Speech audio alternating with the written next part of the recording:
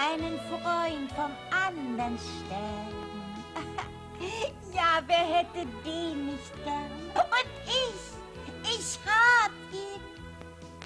Von Knollos Geistesblitzen angelockt, ist mein Freund vom anderen Stern direkt vor dem Spielhaus gelandet. Ja, wirklich, ich hab's gesehen.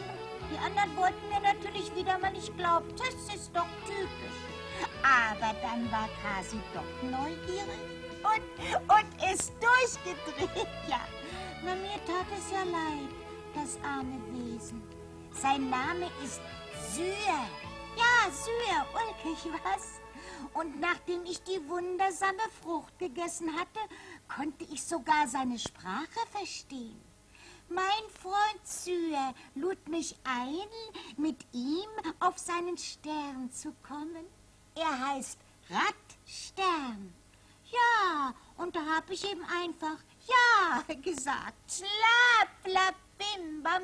Ich bin ja so gespannt, was Sie im Spielhaus dazu sagen werden. Na ja, hoffentlich machen Sie sich keine Sorgen. Auf zum Flug ins Weltenall zu unbekannten Sternen, Sternen, Sternen. Wer kennt schon das Ziel genau in unendlichen Fernen?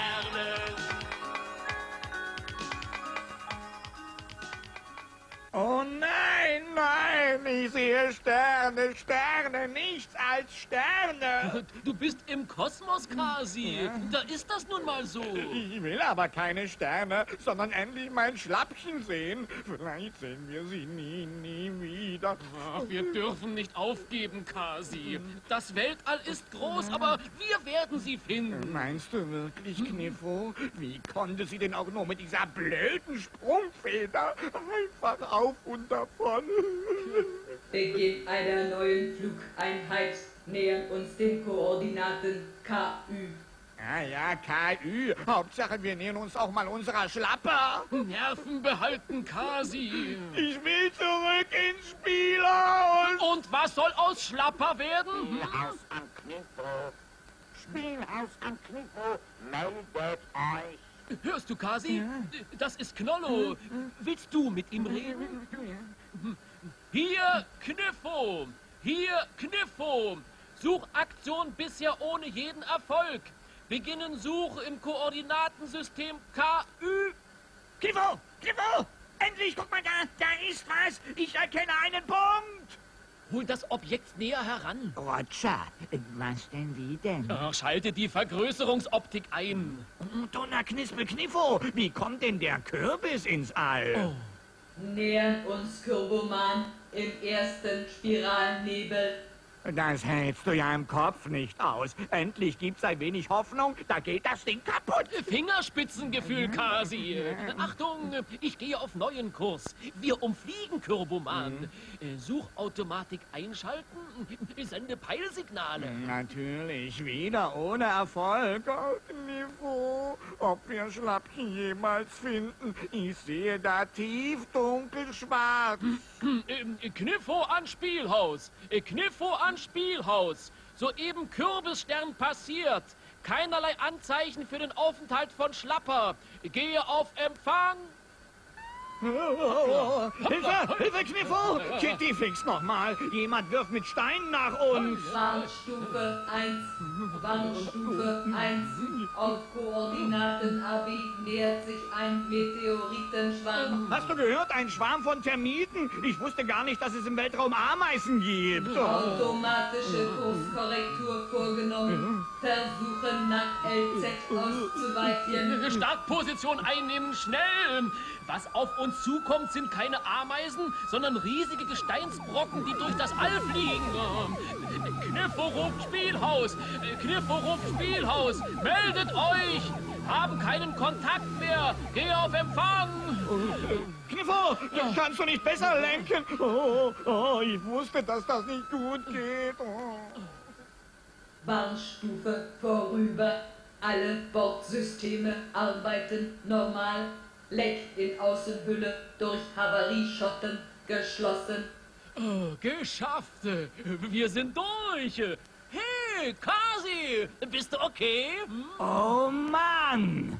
Ah, was zu viel ist, ist zu viel. Nein, das halten meine Nerven nicht aus. Noch so ein Zwischenfall und ich bin schweintot. Also, wenn du mich fragst, kehren wir jetzt um. Vielleicht ist Schlapper längst zu Hause und wir, wir, wir irren hier durchs All. Das glaubst du doch selbst nicht, Kasi. Knollo hätte es uns längst über Funk mitgeteilt. ja, das stimmt, aber. Ah, äh, du Kasi, schnell, schnell, komm her. Äh, Das wird deine Nerven beruhigen. Oh, super knuspliger Regenbogen, Kniffo. Das ist ja stark. Wir erreichen die Erde. Hurra! Spielhaus am Kniffo. Spielhaus am Kniffo, meldet euch. Hier, Kniffo! Hier, Kniffo! Haben soeben einen Meteoritenschwarm gestreift. Das war vielleicht gefährlich. Ach, äh, äh, kein Grund zur Besorgnis. Nähern uns nun dem Regenbogenplaneten. Ihr seid phänomenale Jungs. Wir halten euch die Daumen. Viel Erfolg und durchhalten. Oh, oh, Kniffo, Moment mal, ja? Das ist ja gar nicht die Erde. Nein, was du auf dem Sichtschirm erkennst, ist der Regenbogenplanet. Toll, ist ja beeindruckend. Aber ein Regenbogen auf der Erde wäre mir lieber. Hör auf damit! Ohne Schlapper fliege ich nicht zurück, klar? Ja, ja. Aber könnten wir nicht endlich mal auf so einem Ding runtergehen? Ich würde mir ganz gerne mal die Beine vertreten. Landeanflug ist bereits programmiert. Bremstriebwerke sind eingeschaltet. Hoppala. Oh, oh,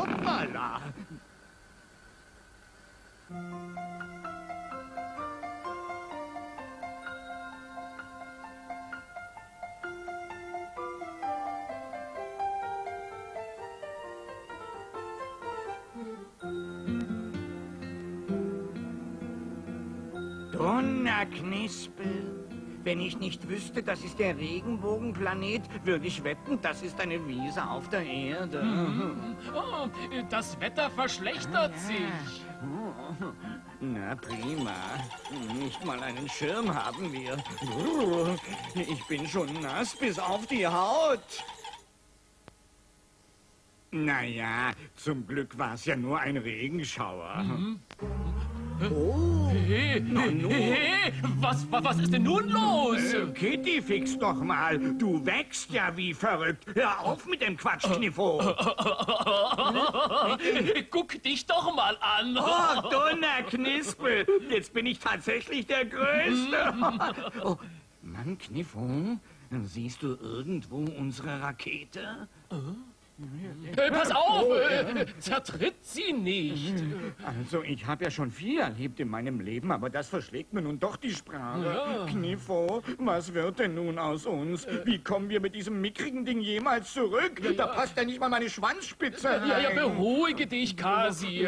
Es handelt sich hier um einen Bioregen. Ist mir völlig wurscht, was für ein Regen es ist. Ich will nicht bis an mein Lebensende als Riesenkater herumrennen, ja? Mm-hmm. Oh, oh, oh, oh, Kniffo, Kniffo, hey, sieh mich an, an, na, na, was, Naja, na, was? wir haben unsere normale Größe wieder. Das scheint dich ja gar nicht zu wundern. Nun, ich habe es mir genauso gedacht. Nach dem Schnellwachstum folgt das Kleinerwerden. Und zwar genauso schnell. Aber sicher warst du dir nicht. Äh, äh, nicht ganz. Äh, Man lebt mit dem Risiko. Ja, ja, schade, dass ich meinen Hecht, den ich neulich gefangen habe, nicht hier oben hatte. Mit dem Riesenfisch wäre ich sicher ins Buch der Anglerrekorde gekommen. Wir sollten jetzt lieber zur Rakete zurückkehren und starten. Der nächste Bioregen ist nicht mehr Ja, fern. besser. Komm, ja.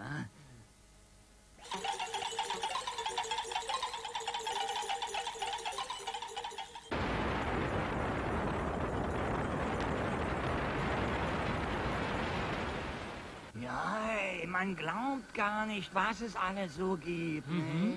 Kontrolldurchsage. Verstärkter Einfluss des Magnetfeldes von Gratania. Unbedingt auf Sicherheitsabstand in Koordinaten ZYP gehen. Da sonst Gefahr des Eintrittes in Kraterschleuse. Warnstufe 1, Warnstufe 1, Magnetabwehrschild in Betrieb nehmen. Hm, Verflixt! Hä, was ist Na, das denn? Ding klemmt! Das Ding klemmt. Los, hilf Ja. mir mal, Kasi! Ja, Moment, ja, das siehst du, da ist es ja schon. na ja. Sag mal, und wenn nun Schlapper auf Kratania ist? Das können wir ausschließen. Kratania ist unbewohnt, schon seit langer Zeit. Die Bewohner haben nur einige Arbeitsroboter zurückgelassen, die wichtiges Gestein abbauen. Ich gehe ein Stück näher heran. Mal sehen, ob wir von oben einen Blick auf Kratania werfen können. Was sind denn das für ulkige Vögel? Oh, na, das sind die Arbeitsroboter. Sie werden mit Sonnenenergie betrieben. Die Sonne wird über Solarzellen aufgefangen und in Energie umgesetzt. Geht die Sonne unter, fehlt die Energie und die Roboter ruhen. Hey, Hut ab vor so viel Wissen. Ich bin sprachlos, Kniffo. Dann bleib es ein Weilchen. Ich empfange schwache Signale. Sender angepeilt, befindet sich im dritten Spiralnebel. Vermutlicher Standort Radstern Urus. Kurskorrektur auf DE Basiskoordinaten. Kniffo, kennst du den Radstern Urus? Nein, der ist mir unbekannt. Bis zum dritten Spiralnebel bin ich nie zuvor gekommen. Moment mal. Heißt das, wir fliegen in einer völlig unbekannten Gegend rum? Ist das nicht gefährlich? Um Schlapper zu retten, dürfen wir kein Risiko scheuen. Nur Einige Informationen erhalten wir sicher durch den Computer. Hm, Donnerknispel, wenn ich aus der Sache heil rauskomme, rühre ich mich keinen Schritt aus meinem Zimmer. Kniffo an Spielhaus!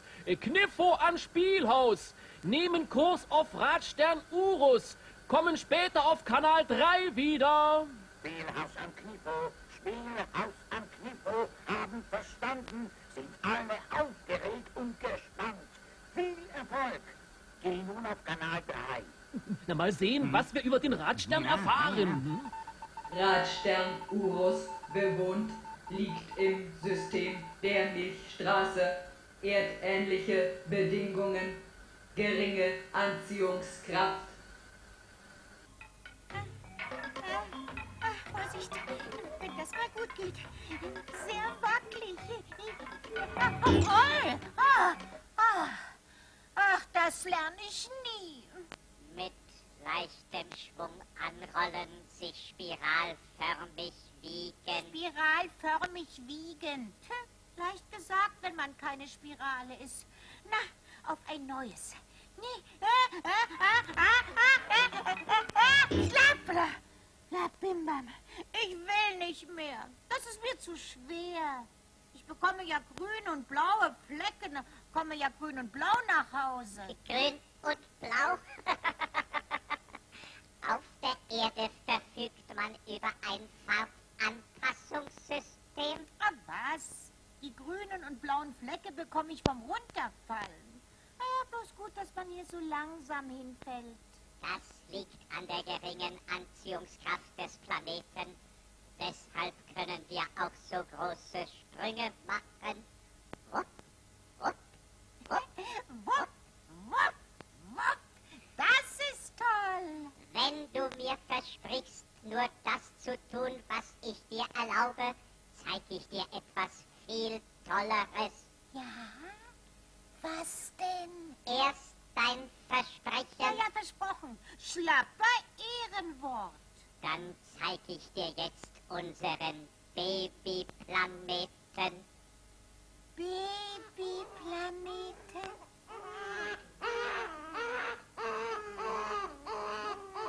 Nun steig schon ein. Also hier ist was los. Abfahren! Wenn ich das zu Hause erzähle, glaubt mir wieder keiner ein Wort.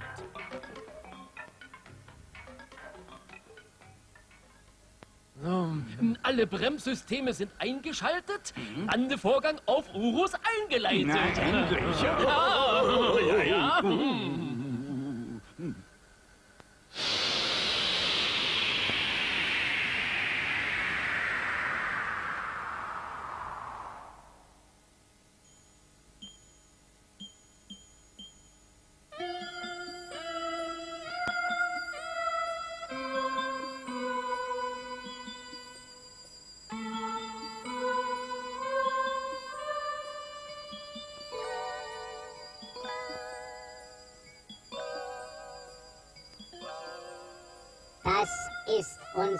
Babyplanet. Aha.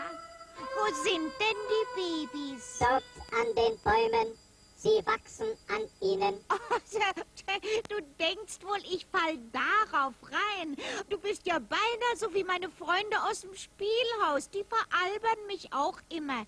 Ich begreife ja nie etwas. Oder zu spät oder nicht richtig. Ja, sagen die. Einer vom Radstern sagt immer, was er meint.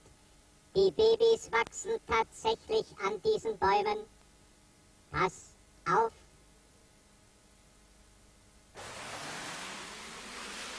Ah, ist das süß. Und so winzig. Nicht anfassen. Schrei mich nicht so an. Ich wollte es ja nur streicheln. Darf man das nicht? Unsere Babys haben einen eigenen Schutzmechanismus. Wer die Gebilde berührt, bevor die Babys reif sind, fällt in einen Tiefschlaf. Was ist denn nun los? Also, also daran bin ich aber nicht schuld. Ich habe nichts angefasst. Das weiß ich.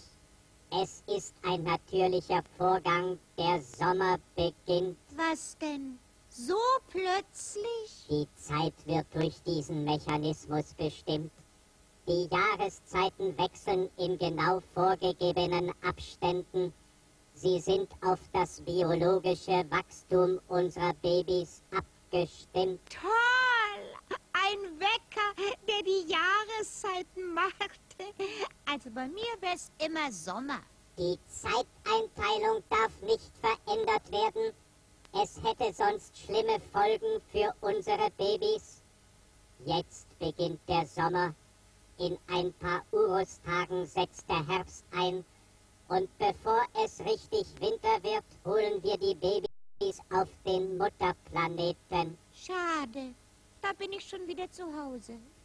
Aber schlapper Ehrenwort, ich fasse nichts an.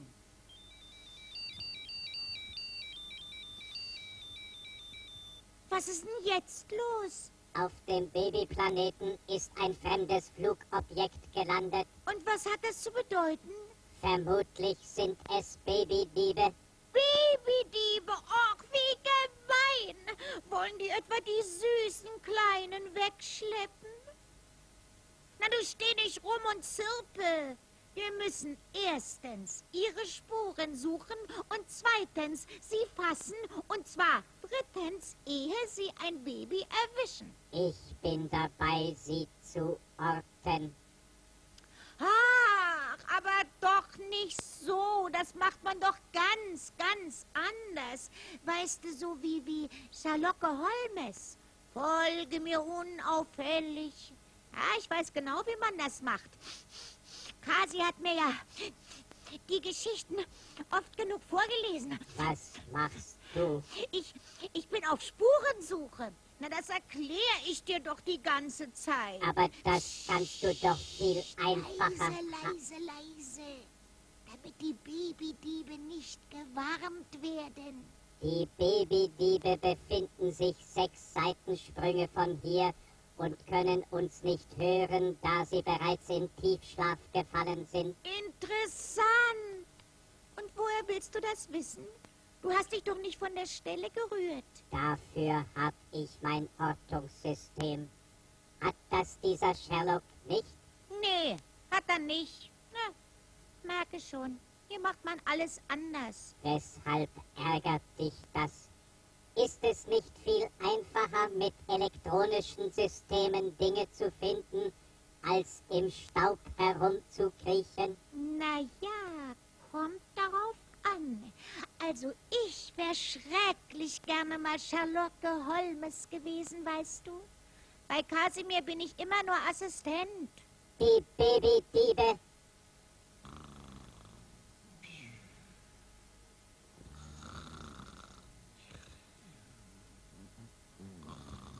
Halt, halt, halt! Was willst du machen? Das sind doch Kasi und Kniffo. Du kennst die Babydiebe. Na, hör mal, wie kannst du meine Freunde für Babydiebe halten? Sie haben die Wachstumshülle des Babys berührt. sonst lägen sie nicht im Tiefschlaf. Na und? Kriminalistisch gesehen ist das kein Beweis für Diebstahl. Sie waren halt neugierig. Genau wie ich. Klingt einleuchtend. Trotzdem muss ich He, sie... he, he. Also, wenn du ihnen was tust, dann werde ich ganz, freut ganz mich, dass du dich so für deine Freunde einsetzt. Aber ich will sie doch nur aus dem Tiefschlaf wecken. Ach so. Ja, das ist was anderes.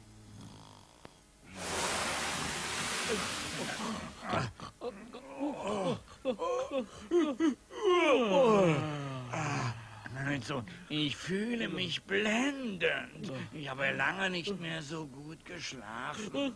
Ich habe von Schlapper geträumt. Kniffo, kneif mich mal. Die Sprungfeder, da ist sie. Na, na, dann muss Schlapper auch hier sein. Ist sie auch. Kaselein Kniffo. Toll, dass ihr mir nachgekommen seid. Nun ha- halt mich fest, unsere Kleine. Sag mal, bist du in Ordnung? Die Sprungfeder hat dir doch nichts getan. Ne? Bei allen Kometenschweifen sieht nicht so aus. Mir geht es prima. Und ich habe eine Menge toller Abenteuer erlebt. Hm, Was kann man mit einer Sprungfeder schon erleben? Lächerlich. Also du hör auf mit Sprungfeder, ja? Syr ist mein Freund. Vom Radstern Urus. Ein Spiralwesen. Ah ja, hat der uns hier einpennen lassen? Nee, das war das Baby. Sag mal, hast du den Höhenkoller oder was? Wo ist denn hier ein Baby? Na, da ist das Baby. Donner Knispel, endlich mal was Neues. Kenn ich ja selbst nicht, ein Flaschenbaby. Na, dann wollen wir doch gleich mal gucken, ne? Nicht anfassen. Sonst schläfst du nämlich wieder ein. Es ist sein, sein, sein Ding, sein Schutzmechanismus. Aha. Wie klein der ist.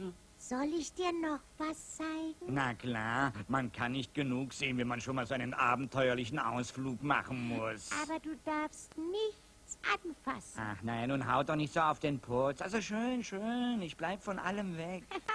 Sowas hast du ganz bestimmt noch nie gesehen. Oh, hey, ist ja wirklich ein tolles Ding. Nur als Wecker untauglich. Der hat ja bloß einen Zeiger. Er genügt ja auch.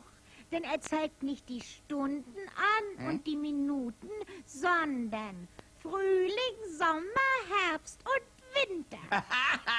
da hast du sicher mal wieder was falsch verstanden. Nee, Ne? gar nicht. Na schön, wollen wir uns nicht streiten. Von mir aus klingelt er nicht, sondern macht Frühling, Sommer, Herbst und Winter. Das kann ich dir beweisen. Schlapper, nun komm da mal weg, ja? Womöglich klingelt das Ding. Da kann man vielleicht taub werden.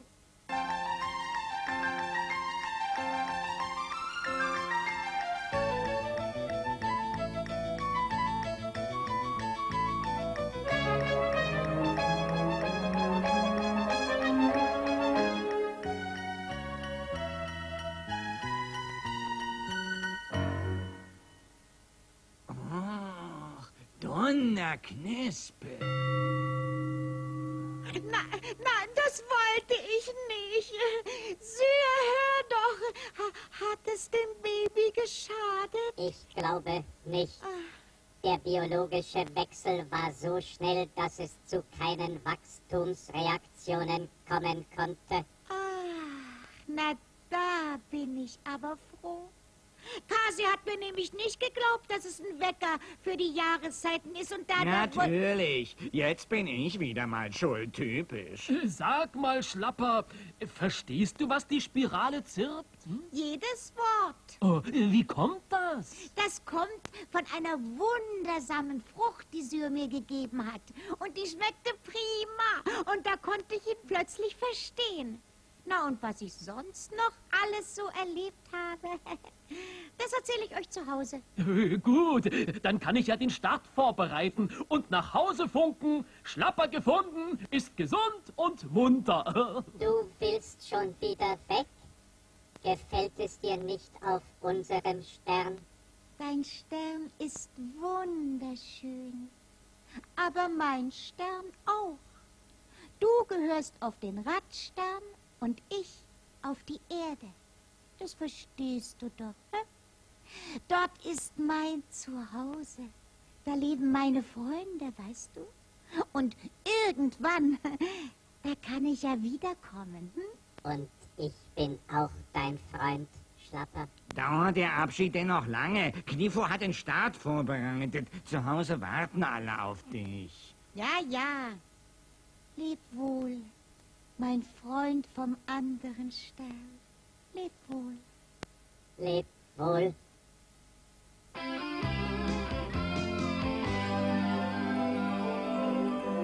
Einen Freund vom anderen Stern. Ah, ja, wer hätte den nicht gern? Mit ihm das Weltall zu durchstreifen, einmal nach den Sternen greifen.